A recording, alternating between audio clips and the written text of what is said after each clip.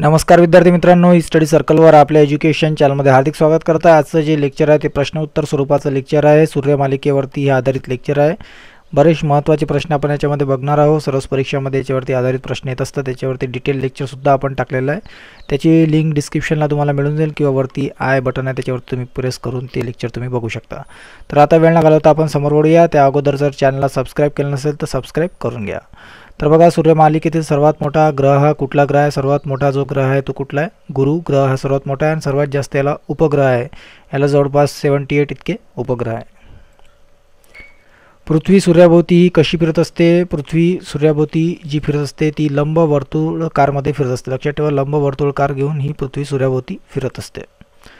सूर्याला सर्वात जवळचा ग्रह हा कुठला ग्रह आहे? सूर्याला सर्वात जवळचा जो ग्रह आहे तो कुठला आहे? बुध ग्रह हा सर्वात जवळचा ग्रह आहे. ध्रुव तारा हा कुठल्या दिशेला असतो? ध्रुव तारा जो असतो तो कुठल्या दिशेला असतो? तो असतो उत्तर दिशेला. लक्षात ठेवा. सूर्य हा कशापासून बनलेला आहे? सूर्य जो बनलेला आहे तो हायड्रोजन आणि हेलियम जोडून बनलेला आहे. हायड्रोजन हे जे आहे सूर्यामध्ये सेवन्टी पर्सेंटच्या जवळपास जे आहे हायड्रोजन असतं आणि हेलियम जे आहे ते अठ्ठावीस टक्के आहे. कार्बन नायट्रोजन ऑक्सिजन आणि इतर जे पदार्थ आहे ते वन पॉईंट फाईव्ह पर्सेंट आहे आणि अदर एलिमेंट्स जे आहे ते झिरो पॉईंट फाईव्ह पर्सेंट आहे. तर लक्षात ठेवा प्रश्न बनू शकतो. पृथ्वीला सर्वात जवळचा जो ग्रह आहे तो कुठला आहे पृथ्वीपासून सर्वात जवळचा जो आहे शुक्र ग्रह आहे. शुक्र ग्रहाला सांस तारा असं सुद्धा म्हणतात. कोणत्या ग्रहाला सर्वात जास्त उपग्रह आहे? सर्वात जास्त उपग्रह मी आताच बोललो गुरु ग्रहाला सर्वात जास्त उपग्रह आहे.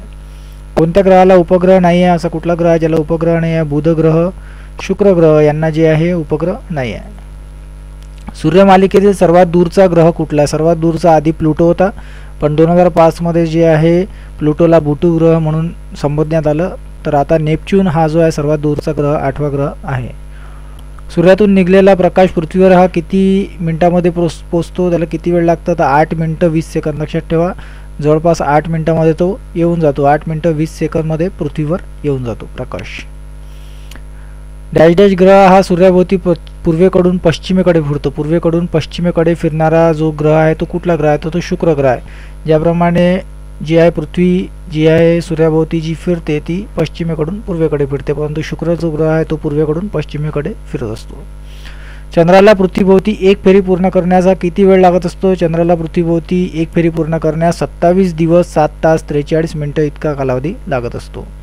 विषववृत्त न पृथ्वीचे कुठले दोन भाग होतात? विषववृत्तामुळे दोन भाग होतात उत्तर गोलार्ध आणि दक्षिण गोलार्ध. लक्षात ठेवा उत्तर गोलार्ध दक्षिण गोलार्ध हे दोन भाग झालेले आहे विषववृत्तामुळे. चंद्राचे गुरुत्वाकर्षण पृथ्वीचे आहे किती पट आहे? चंद्राचे गुरुत्वाकर्षण पृथ्वीच्या वन बाय सिक्स म्हणजे पृथ्वीचं जे गुरुत्वाकर्षण आहे चंद्राच्या सहा पट आहे. चंद्र हा पृथ्वीचा नैसर्गिक उपग्रह आहे. पृथ्वीपासून चंद्राचं जे अंतर आहे ते तीन लाख चौऱ्याऐंशी किलोमीटर इतकं अंतर आहे. चंद्राचं गुरुत्वाकर्षण पृथ्वीच्या वन बाय सिक्स पट आहे. चंद्र आदल्या दिवशीपेक्षा पन्नास मिनटं उशिरा दुसऱ्या दिवशी उगवत असतो. कोणत्या स्थितीत चंद्र पृथ्वीपासून सर्वात अंतरावर असतो? तर लक्षात ठेवा उपभू जी स्थिती असते त्याच्यामध्ये चंद्र हा पृथ्वीपासून सर्वात जास्त दूर असतो सर्वात जास्त अंतरावर असतो.